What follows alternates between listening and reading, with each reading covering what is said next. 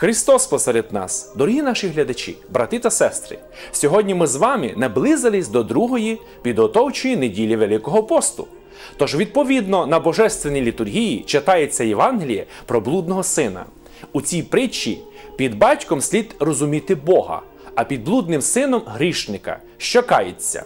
На блудного сина подібна кожна людина, яка своїми гріхами губить свою душу.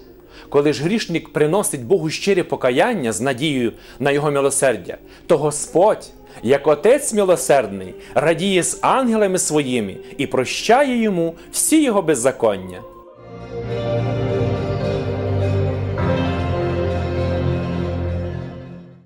У цей день православна церква вшановує пам'ять своїх святителів Агапіта сповідника єпископа Синацького, який жив у IV столітті, Флавіана, сповідника патріарха Цареградського із V століття, а також святителя Лева, єпископа Римського, який жив у середині V століття і був відомий багатьом своєю вірою, побожністю та мудрістю. Як невтомний пастир, він непохитно захищав православну віру від єретиків та розкольників. А коли відступник Євтихій почав сіяти смуту у церкві своїм єретикам, єретичним вченням. Кращі мужі з усієї Вселенської церкви зібралися у Халкідоні на четвертий Вселенський собор. Серед них був і мудрий святитель Лев. Пам'ятаючи заповідь Христову, блаженні, милостиві, бо вони помилувані будуть. Він, ризикуючи своїм життям, у 1452 році стримував ватажка гунів Атилу від кровопролиття та благав його не спалювати вщент столицю Римської імперії. Атило, ти переміг весь світ, сказав святитель. Тепер просимо тебе, переможи самого себе себе, не руйнуй нашого міста. За своє благочестя і успішний захист православ'я святий Лев названий Великим.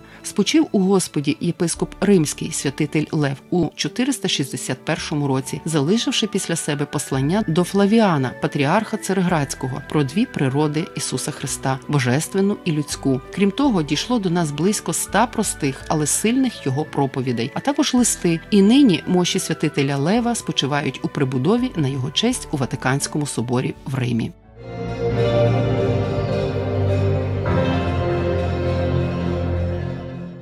Сьогодні ми сердечно вітаємо з ним ангела чоловіків, які мають імена Володимир, Агапіт та Лев. У нинішню неділю про блудного сина ми з вами повинні не забути попросити прощення за свої гріхи, тобто покаятися через сповідь. Адже покаяння відкриває людині небо, воно зводить його в рай воно перемагає всі темні сили.